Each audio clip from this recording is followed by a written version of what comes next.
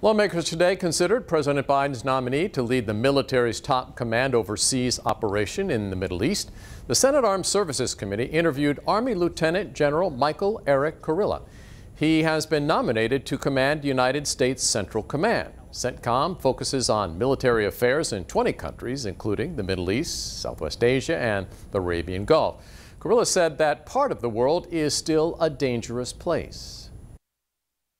The area is home to nine of the top 10 most dangerous violent extremist organizations, including Al Qaeda and ISIS, which are both reconstituting.